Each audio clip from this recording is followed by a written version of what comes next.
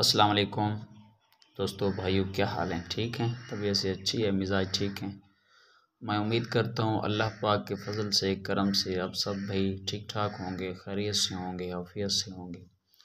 दुआ है, अल्लाह रब्बुल इज़्ज़त आप सबको खुश और खुशहाल रखे। जहाँ भी रहो, खुश रहो। जहाँ भी रहो, अल्लाह तबारक व ताली शैतान के शर से ालिम के जुल्म से, हासिदीन के असर से आप सब लोगों को और हमको भी महफूज फरमाए। दुआ है अल्लाह रब्बुल इज़्ज़त हम सबको नेक काम करने की तोफ़ी अता फ़रमाए और अल्लाह तबारक व ताली हम सबको अच्छे काम करने की तोफ़ी अता फ़रमाए। आप देख रहे हैं भाइयों हमारा यूट्यूब चैनल ईमान की असलाह अगर आप हमारे चैनल पर नए हो तो आपसे रिक्वेस्ट है कि ईमान की असलाह हमारा यूट्यूब चैनल को सब्सक्राइब कीजिए और साथ में दिए गए बेल आइकन घंटी के बटन को भी दबा दीजिए ताकि हर आने वाले ईमान अफरोज़ वीडियो, आप तक कुरान करीम की तिलावत और कराम के बयान और सुन्नत रसूल सल्लल्लाहु अलैहि वसल्लम के मुताबिक अहादीस आप तक बर वक्त पहुँचती रहें। अगर आप सबसे पहले हमारे यूट्यूब चैनल पर नए हो तो हमारे यूट्यूब चैनल को सब्सक्राइब कर लीजिए। शुक्रिया। चलें, चलते हैं आज के मौजू पर। हम, जैसा कि आप देख रहे हो ईमान की असलाह यूट्यूब चैनल।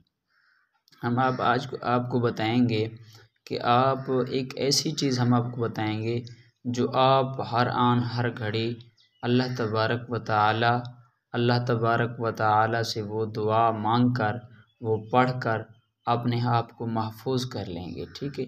अपनी ज़िंदगी अपनी ज़िंदगी जो है, ज़िंदगी ज़िंदगी के अंदर जितनी भी तकालीफ़ आती है इंसान को और जितने भी दुख आते हैं, वो अपनी ही गलतियों से आते हैं, अपनी ही कोताहियों से आते हैं।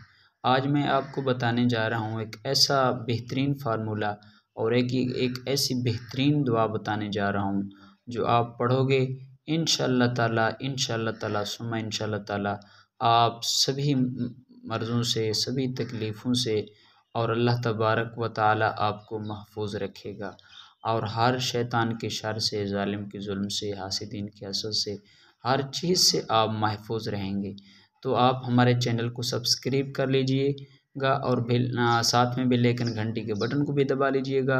आपको हम बताते हैं वो तरीका जिनसे इंसान महफूज रह जा सकता है, ठीक है?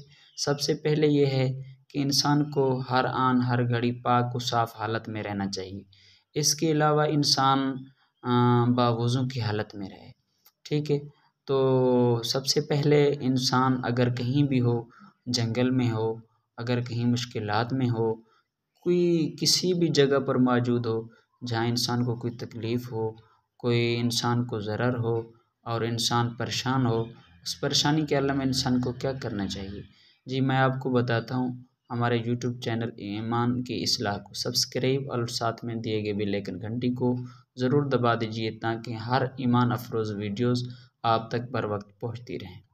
हम शुरू करते हैं अल्लाह पाक के प्यारे नाम से, जो नहायत मेहरबान है, हमेशा रहम करने वाला है। अच्छा सबसे पहले आपको कोई भी तकलीफ़ हो, कहीं भी हो आप हाँ आपको कोई मसला दरपेश हो, आपको तकलीफ़ हो और वहाँ आपका कोई मददगार ना हो तो वहाँ एक ऐसी हस्ती मददगार होती है जो तमाम कायनात को, तमाम इंसानियत को थामने वाली और तमाम इंसानियत को बनाने वाली, तमाम इंसानियत का मालिक, खालिक, राजिक, वो आपके साथ ही होता है।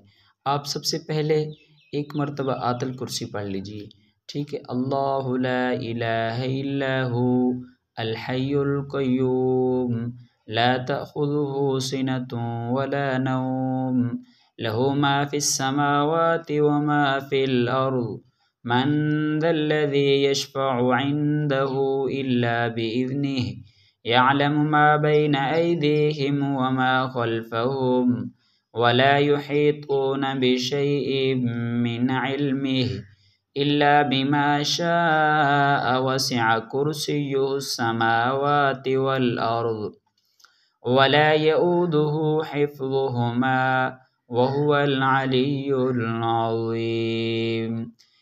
ये दुआ है, आपने तीन मरतबा पढ़नी है, ठीक है?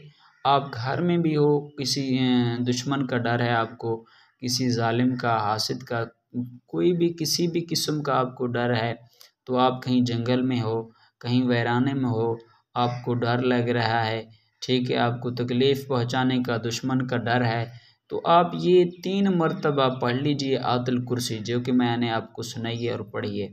आप ये याद कर लीजिएगा इन ताला इन ताला अल्लाह तबारक व ताली आपको अपनी हिफ्ज़ अमान में रखेगा। जी, शुक्रिया। अस्सलाम। उम्मीद करते हैं हमारी ये वीडियो आपको अच्छी लगी होगी। अगर हमारी ये वीडियो आपको अच्छी लगी है तो वीडियो को लाइक और शेयर कर दीजिएगा। अल्लाह पाक हम और आप, हम और आप सबका हामी नासिर हो। अस्सलाम।